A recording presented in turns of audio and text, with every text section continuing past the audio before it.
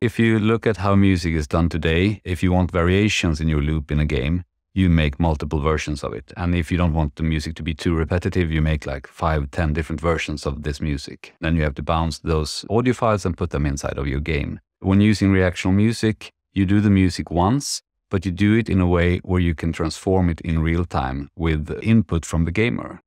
At the heart of our system is the reactional theme, our interactive compositional format. So, a reactional theme is an interactive composition uh, it's not a randomizer that's usually been the case of, of, of uh, generative music in the past. This is composed music, but that is still changeable in real time. Here's an example reactional theme. It's a jaunty orchestral piece. I've just played the music as it is. You hear this uh, upbeat orchestra music coming here. You can then change the density. I mean, how many notes are you hearing? So you get much more sparse music, you can still take up the energy. So it's much louder, and not just making it louder, but also start to have pitches that are higher and lower. And of course, take back the density again if you want. We have an autonomous slider that starts to affect the music, so it improvises around this, the same theme. And you can progress to a different part of the music. These interactive controls, known as macros, are created by the composer in minutes using our intuitive software. And all of these macros are then mappable inside of a game to anything that you want. It can be proximity to monster or health or day and night or whatever type of, of uh, action you want in the game. So your game music can be truly interactive, reacting to what the player does in a way defined by you. If you have a driving game, you can speed up the music or slow it down. You can really change exactly every parameter you can think of in the music.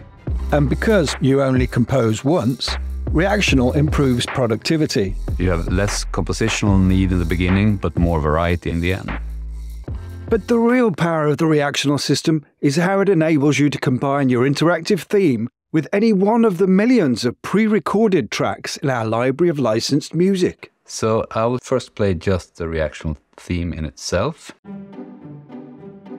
And then uh, changing that by adding a track to it. So I'll start now by playing it together with a very famous uh, symphony by Mozart and see what happens then with this theme. Now it's just the theme that reacts to the tempo and the chords of Mozart's symphony. Of course, you can also add a completely different track. So you take a different track and you have the same reactional theme with this upbeat orchestra, and we'll see how that sounds. You can still affect these sliders of energy or density.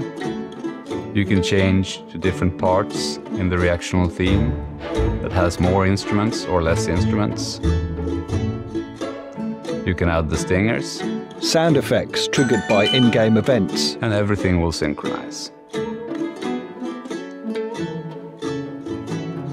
And then for something completely different, a completely different genre of music that still affects and makes the, the theme, uh, the reaction theme, interact with this music and work together with it.